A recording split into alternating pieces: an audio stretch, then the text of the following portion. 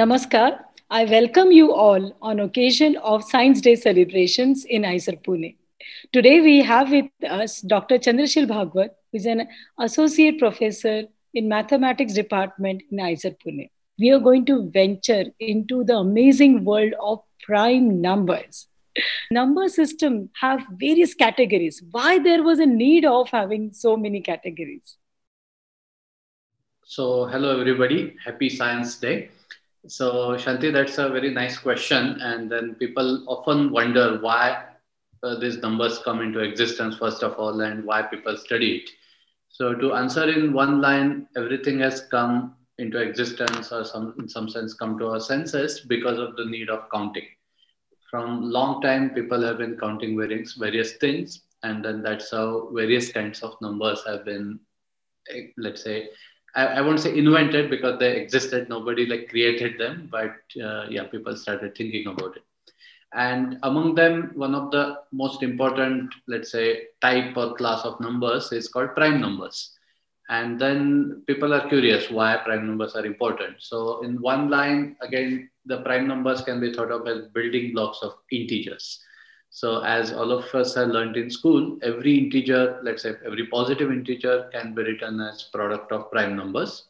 And you can think of compounds and elements in nature. So for example, water is made up of hydrogen and oxygen, but it's only, yeah, I mean, only when people studied that there's a notion of elements and compounds, then only people realized how various, let's say, substances in nature are made up of smaller other smaller objects. That's how you can think of prime numbers as the building blocks of integers. Uh, but there were odd numbers, there were even numbers, and now they are uh, prime numbers. So, what are exactly prime numbers? So, for example, when you talk about even and odd numbers, that categorization is based on what happens if you divide a number by two. If it's completely divisible, then we call it even. If it's not completely divisible, we call it odd. Now here, instead of dividing a number by one particular number like two, you start with a number and then you look at all its factors. And then if there is no other factor than let's say one and that number itself, then we'll call such a number prime. Except in this definition, we are already let's say defining primality only for numbers which are bigger than equal to 2 so there's a convention that we don't call the number 1 as prime okay? So this is the definition basically that there is no divisor other than that number and 1 itself. Very nice. And uh, you said that uh, 1 is uh, neither prime nor uh, composite. So why is it so? What is so uh, special about 1 so for example if you think of integers. So suppose you want to ask yourself a question that given an integer, can you look at its reciprocal? So everybody understands what is reciprocal. Like we write, write it as 1 divided by n or 1 over n. And then if you ask the question that which integers, which let's say which positive integers have a reciprocal also as an integer. And the answer is only 1. The number 1, its reciprocal is itself, which is an integer. But for no other positive integer other than 1, if you take the reciprocal, it won't be an integer. It will be something called a fraction. So in mathematical terminology, such a number is called unit. Okay, so often in our usual daily life, unit somehow we think of one unit or unity as associated to the number one. So in mathematics, this concept is generalized. And then any kind of system, if the multiplicative inverse or reciprocal of that object is also same, of, of, in the same system, then such a number is called unit. And in that sense, only one positive number is unit, integer is unit, that is one. So that's why we don't want to define the notion of primality for that number. So it's part of oh. convention and uh, part, let's say, a logic system, which is based on this convention. So prime numbers as such is very special and you were saying that uh, it is very important and historically also it has played a very important but who invented prime numbers i i, I was very curious about this so yeah. what do you think yeah so for example as i said earlier these these objects are not something like machines which were let's say designed by someone or invented by someone these are part of our like let's say natural number system, which is again based on how to count objects. So if there is no object, we'll say that number of objects is zero. If there is exactly one object, we'll give a number, associate the number to that set. Then the set becomes a set with one element. That's how the natural numbers have come into existence. And then there is a notion of taking product of natural numbers and also adding natural numbers to each other. And when you look at the products, then you realize that there are some special numbers which, as I said earlier, don't have any other factor other than that number and one. And then that's how the prime, the word prime number has come. Prime is something like basic or let's say important in that sense. So another consequence of this fact is that if you take any positive integer, so I'll use the word natural number for such a positive integer, but we are not looking at zero as a natural number. We are only looking at positive integers. And of course, we are not also looking at one. So anything bigger than one, you can always factorize into as a product of prime numbers. And that, that can be done in a unique fashion. So this was something, so this is, for example, known as let's say fundamental theorem of arithmetic and then these kind of facts were first studied by greek mathematicians long back something like 2000 more than 2000 years back archimedes was one of the person who studied it euclid whom you know more as a let's say father of geometry he was another person who studied prime numbers with a great extent then uh, people continued getting fascinated by prime numbers. Many important discoveries were made.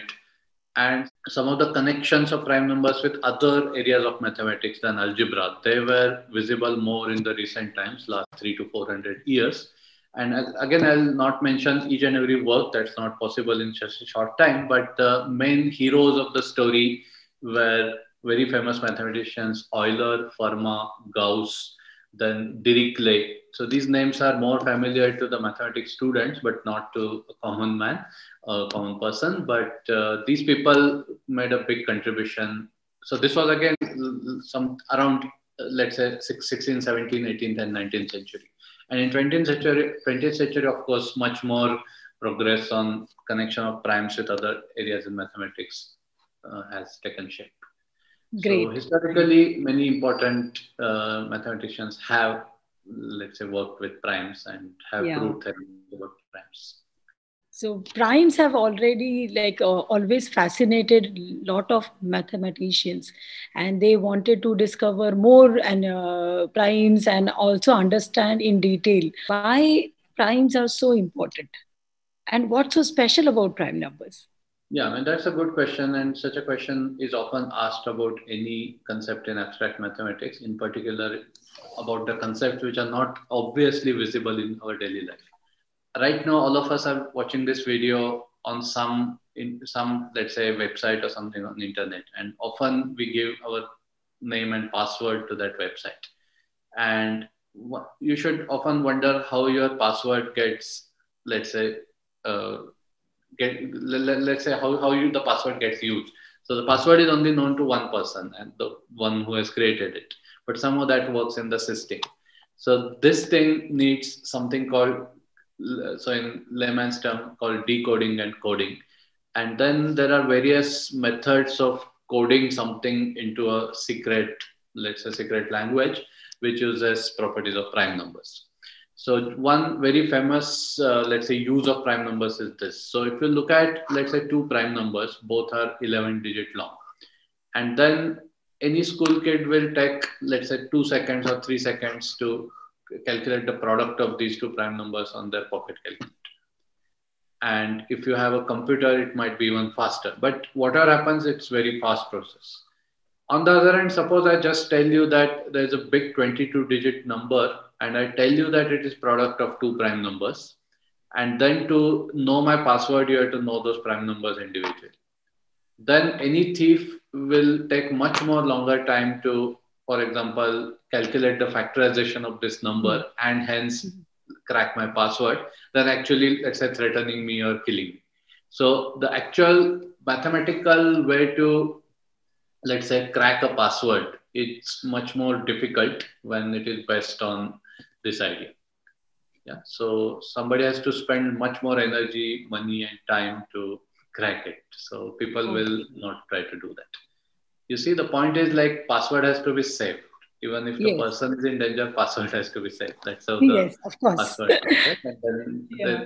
this is a mathematical, let's say, trick. Wow, that's really nice to know. And I think so, encryption, and especially in banks, uh, like where, where you feel that your money has to be safe. When we use debit card also every time, I feel the same mechanism uh, would be working, right?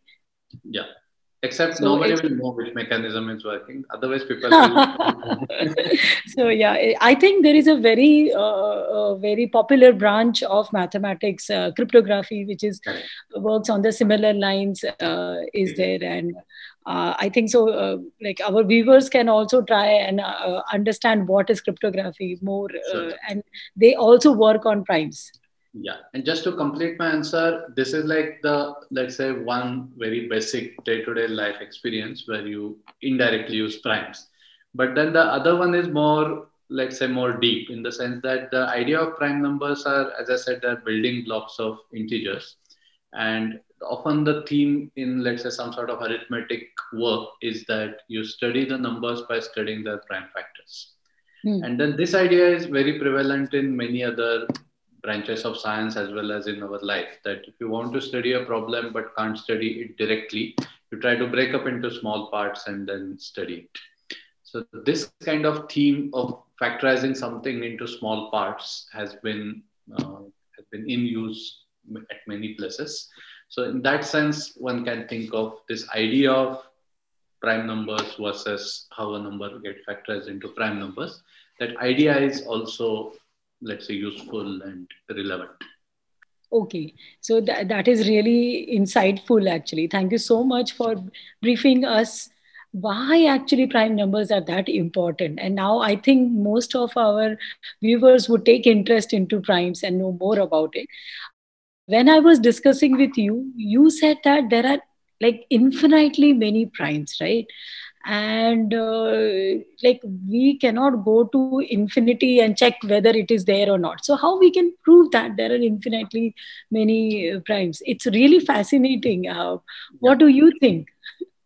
So that's actually one of the important points shanti you have raised because in often in mathematics people think that the mathematicians compute things and calculate things and then get answers. That's how our school system works right? You have to to solve a math exam or math problem, you have to just calculate something and go ahead with it.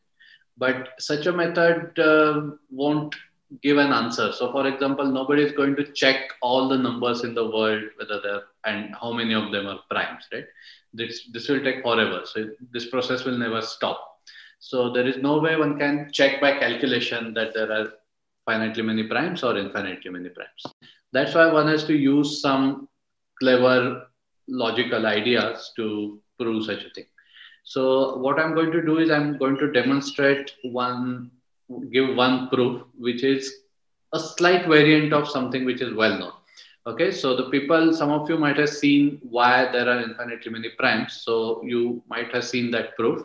So the history is that I talked about Euclid sometime back. So the Euclid was a mathematician who lived something around 2100 years back and then he's supposed to have given the proof of this fact for the first time that there are infinitely many primes. And I'm going to just now going to tell you some variant of that proof and possibly another very different kind of proof, which uses a very different kind of uh, mathematics. Okay. So basically the idea is this. So I'll talk about some idea called proof by contradiction. So suppose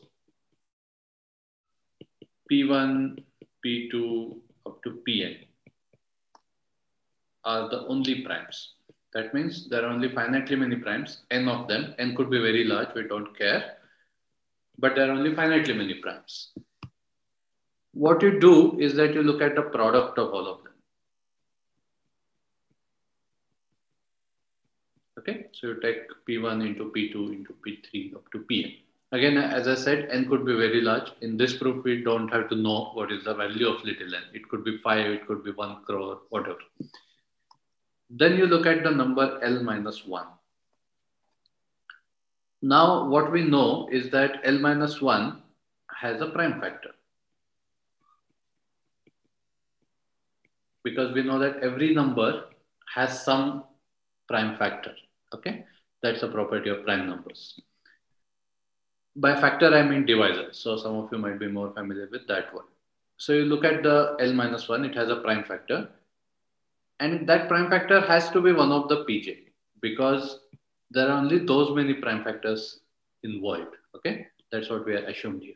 So whatever prime factor of L minus one you take, it has to be one of the PJs. So let's call it PJ. And now we are in very bad situation because that means what? PJ is a factor of L as well as L minus 1. Okay. So what is what is happening? We know that L is a multiple of Pj. L minus 1 is also a multiple of Pj. How can that happen? Two consecutive numbers cannot be multiples of same prime number. So we got some absurd, definitely false thing, and then that's how proof by contradiction works. So what does it mean? It means that our assumption is wrong, that there cannot be only finitely many primes, there has to be, have to be infinitely many of primes. So quick word, the, so the original proof of Euclid, which is more famous, uses L plus one and gives a slightly different argument. And this surprisingly cute argument was, I think, given by another mathematician called Kummer around 100 years back. So I learned about this very recently. So I thought I'll just present it. Yeah. Okay. So I think let's not go into uh, the other proof in detail. I'll just say there are many proofs. One very famous proof uses something called Riemann zeta function, which was studied by Euler. And then Riemann zeta, the existence of Riemann zeta function itself says that there are only there has to have to be infinitely many of primes. Otherwise, things will break down. And you were also uh, saying that uh, the theorems and proofs are very, very important, and they are the base uh, in which most of the mathematician works, right? So, what exactly is a theorem? Like what happens in the theorem and how a mathematician proves? Because there are i, I uh, what i have read is there are many things and many areas especially uh, as per prime numbers where a lot of things have, are yet to be proved. So i think there is 1 million dollar award also for theorem if it is to be proved yeah, I mean, this, as you said, proving theorems is a game that has been being played by mathematicians for the last many thousand years, let's say. And this is part of the job. So it's like, for example, uh, so for example, the artist will create a piece of art and then they will be very proud of it. That way, math- the mathematicians who have proved, let's say, important theorems according to them, then they are often proud of it. And people yeah, I mean, uh, mathematician is recognized by what sort of work they had done, not the work, not the kind of knowledge they gained, but the actual, let's say, creative work they had done. So, so as like for a layperson, theorem is some logical statement. So before one proves it, it may not be a true statement, but it, it is a logical statement. So it's yeah, so it has to be either true or false. Otherwise, if it is a vague statement, then there is no way of proving or disproving. And so a theorem in that, in that sense could be any statement. So right now we saw a theorem saying that there are infinitely many primes. So it's either true or false, right? Either there are infinitely many primes or there are only finitely many primes. And then we saw, in fact, a proof which used this fact that if it is not true, it has to be false. And then how does one get a contradiction out of it?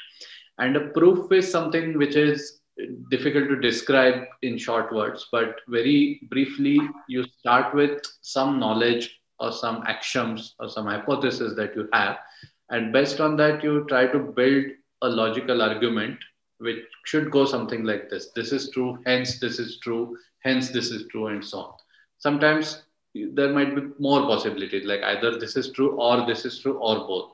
So one has to consider all that logical sequence and then try to arrive at a Uh, logically arrive at what you want to prove.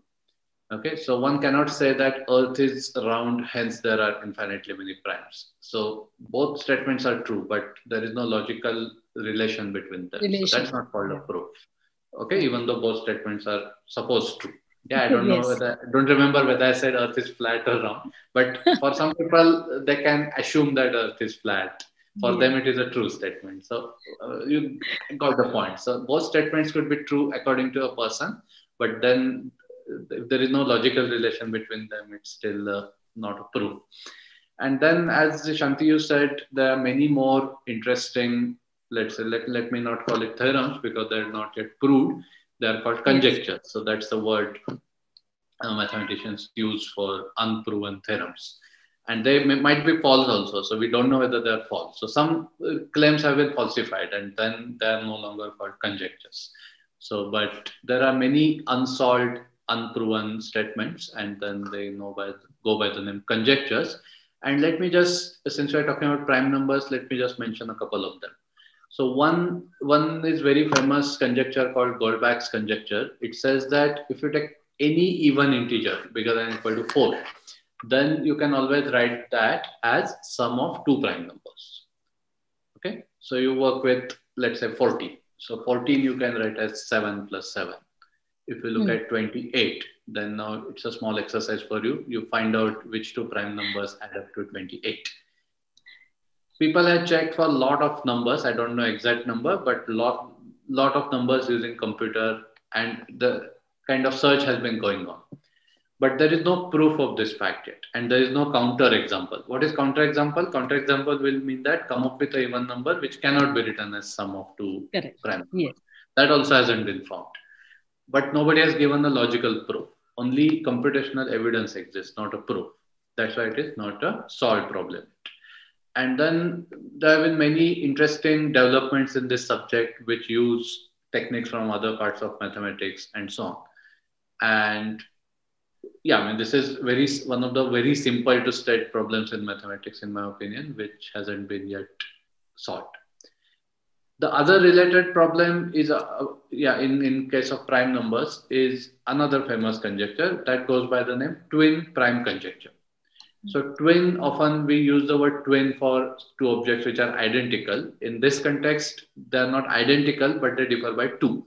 So for example, we can easily check that apart from 2, there is no even prime because every even number is divisible by 2. So if an even number is bigger than 2, it cannot be a prime number. So all other prime numbers are odd numbers. And then you look at certain, so you observe that there are certain pairs of prime numbers which differ by 2. For example, 11 and 30. For example, 41 and 43. So you can find many such interesting pairs and they are called twin primes. Now, again, a very similar question to what I showed as a proof some time back that has been also studied that are there infinitely many such pairs? Yes. Okay. Again, the answer is uh, not known. So people have been trying to find big and big primes where there are two consecutive odd numbers which are primes, but there is no proof yet that there are infinitely many such twin primes recent work have has been something like this. So I'll again explain this in very broad terms. It's difficult to like convey the importance of this type also to a layperson. But for example, we are asking for infinitely many pairs where the difference is two. Okay. Question: Are there infinitely many pairs such that difference is at most ten? Hmm. Okay, you understand? So these kind yes. of steps are also important in this result. Yes. And recent work has been, I think, uh, so I may not, may not be completely correct here, but the difference, so for example, the, it has been proved that there are infinitely many pairs where the difference is bounded by some number which is of the order 500 to 600. So, mm-hmm. but this is since 500 looks too too big than two, you will say that this this is nothing. But then this is also important step, and it yes. has only been achieved very recently. So that way, it might feel that we have a long way to go to, before we prove or disprove the twin prime conjecture. But you never know. Some very genius technique might might come, which we have overlooked so far, and then we might get such a theorem. So that, that's the beauty of I think mathematics, and in particular these kind of uh, these kind of objects where one can explain the problem very easily in one line to any person over a cup of coffee and then but the proof nobody knows how it will come so, there are many more such very like important mm, yeah important results and we don't know how important they are. That's also the beauty. So conjecture is the base actually. So asking questions, thinking about something, what works, what doesn't work, and then proving it later. So this is very, very important for all of us to understand why questions are that important, why such statements are that important. Uh, we, we, could, we should encourage more, more students to ask questions, to think about various uh, areas, various variables that are interacting, and how this can be led into various proofs. How we can prove either we can prove by contradiction or we can take help of some assumptions, some axioms, and then we can start proving some statements which are very important. In fact, in school syllabus also, there are theorems and there are uh, when we prove the theorems it is said that there are certain things given and from the given they have to take and then they have to give logical uh, statements uh, either from earlier theorems they have to take something and then they have to come to the conclusion that they have proved something. So this is really very interesting this entire process. I feel uh, mathematics is uh, based on this entire process of theorems proofs and then finding out and uh, thinking about something we know that, for example, if I give you a number, so suppose 4,322. So there is a number with those many digits. There is a prime number with those many digits. This is this can be deduced from such a theorem. So that way we know that there are infinitely many primes. Moreover, given any number, there is a prime number with those many digits. So that's already there. Now the question is how to find it okay so now to how to let's say how to find it the easiest way or whatever the brute force way is you check all the numbers of that magnitude and check which of them are primes. But that's a huge task. And then people are clever. They don't have to like do this all brute force. They have some more sophisticated tools and techniques using the both mathematical theory as well as computational let's say computational techniques to check which numbers are prime and not and then uh, using sophisticated tools they succeed in finding these big primes and as you know the, as you go more and more deeper into let's say bigger numbers it's the number of primes also let's say proportion of the primes also gets smaller and smaller. So there are theorems of that type also. So that's why it's rare to get prime as you go along. And then that's why such discoveries are exciting okay but they directly so for example having such a number with all those number of digits that's not very directly relevant to let's say number theory or. Okay great. Thank you. And uh, you were also saying uh, something about uh, existence and uh, discovery. We feel that uh, discovering a number is really very interesting but it was already existed. So what what is your take on it yeah, means so. Uh, so it's basically what I said sometime back. So once we know the existence, maybe mathematician won't get excited by discovery of that thing. That's what okay. uh, my point was. But okay. on the other hand, there are some other instances where discovering something which was unexpected has given, let's say, boost to some other theories. So again, okay. there is something called yeah. It, it, will take a long time if I start talking a lot about, about it.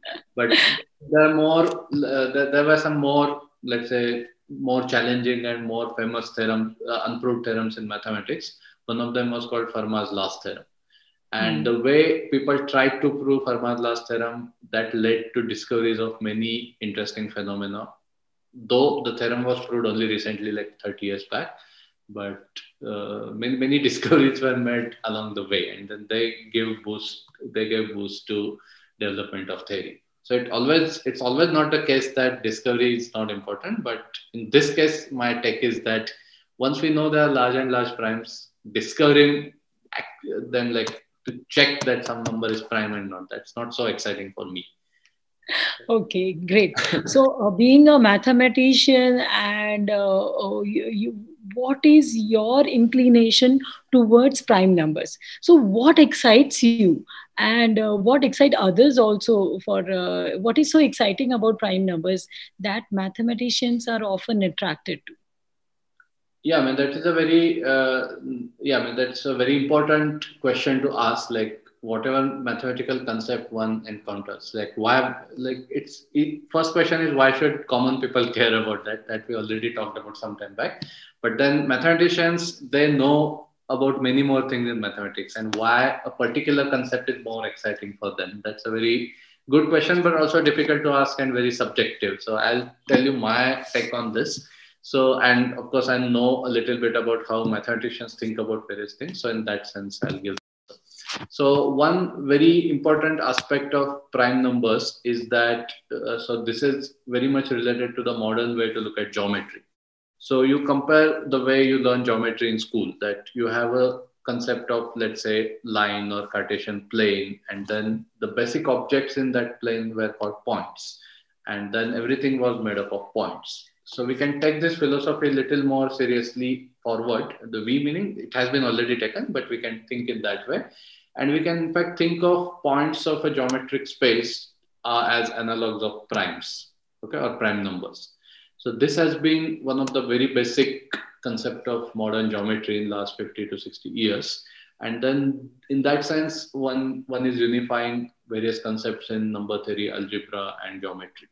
So that is one of the most exciting thing about prime numbers to me that people have uniformly or in a unified way thought about let's say primes or points in space etc and taking the same analogy forward you can think of integers defining functions on those geometric spaces this is one aspect the other aspect is uh, more let's say also a little less known. So let me take this opportunity to talk about it. So there's a notion of distance that we look at. So for example, distance between 7 and 7.4 is 0.4, that kind of distance. So this is one way to measure distances. This is what we learn in school, and this is how we measure distances in our daily life. Abstractly, there are other ways to measure distances. And then the way prime numbers show up there is that for every prime number, there's a notion of distance. So mathematicians study something called p-adic numbers. Again, I'll not go into a lot of details here, but the idea is that you everyone knows what are fractions. So that is our starting point. All the fractions. They are also called rational numbers in the technical language. From there, we study something called real numbers.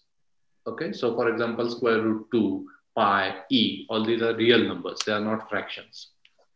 Now, a mathematician can, or anyone, anyone with a logical thinking, can ask the question are there other distances which give rise to different kind of number systems and then there is a notion of p-adic numbers which say that for every prime number p there is an analogous number system which is not same as the real number system but something else and then this is also one of the very exciting feature in mathematics unfortunately it is not taught at very basic level but one can ask the question, why only real numbers? Why not all these other number systems? And then a mathematician definitely finds these things very exciting. And the third aspect is the actual arithmetic properties of prime numbers. So we talked about how infinitely many prime numbers, the proof that infinitely many prime exists can be also given in many directions. So there's a very important direction which goes into something called analytic number theory, which uses the ideas of calculus, limits, integration that we study in school and how they are related to the arithmetic and numbers. So that is something that is another place where the primes are very exciting. And then that gives rise to many interesting theorems. And that's why people are, mathematicians are excited about prime numbers. And I'm sure other colleagues of mine and other fellow mathematicians will have their own, let's say, reasons for liking primes you discussed that why primes are so important our primes are so prime for mathematicians because they had there are so many questions as you have said that based on how the distribution of prime is or based on some patterns if they are showing or based on some relevance which we uh, take it now for daily life like cryptography and another uh, encryption So these are the important areas where mathematicians are really interested in and they want to study more primes and how they can uh, be related and they can be thought of uh, various ways which will help in future in existence and development of human beings. So uh, actually, I feel uh, there is a lot more to be explored. The prime number story has no ending because there are infinitely many primes, and there will be infinitely many questions which we have to answer, especially uh, pertaining to prime number. Thank you, thank you so much, Chandrasheel, for being a part of this Science Day celebration of IISER Pune. And I would request all the audience also to keep uh, track because we have so many activities and so many talks of scientists, and the entire schedule is given in the description box. So I would encourage you to just have a look, and you can visit us anytime. And uh, this is a way we are celebrating Science Day. Hope this mathematics session of prime numbers would really excite you. And from today, you will think about most of the things as logically as Chandrasheel has also encouraged us. So thank you so much, Chandrasheel. And I hope all of you have enjoyed this session. Over to the next session.